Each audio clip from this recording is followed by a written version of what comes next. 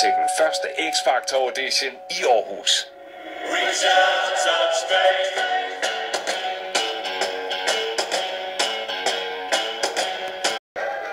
Dommerne er klar og i højt humør, og lad os så få åbnet døren til den første X-Factor audition i Aarhus. Reach out, touch faith.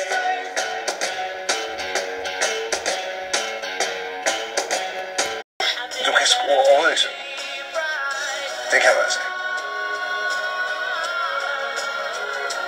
Well, the proud Mary keep on burning. Du er et livsstykke, det er skønt. Du står allerede ude i hallerne og kigger nedværdigt ned på dit publikum og tænker, klap så af mig røvhuller. Og så kan du gøre sådan her. Med den anden hånd.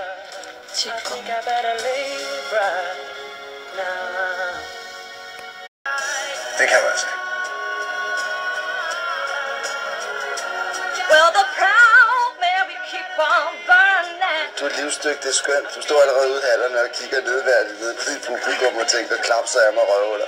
Og så kan du gøre sådan her. Den anden hånd. Think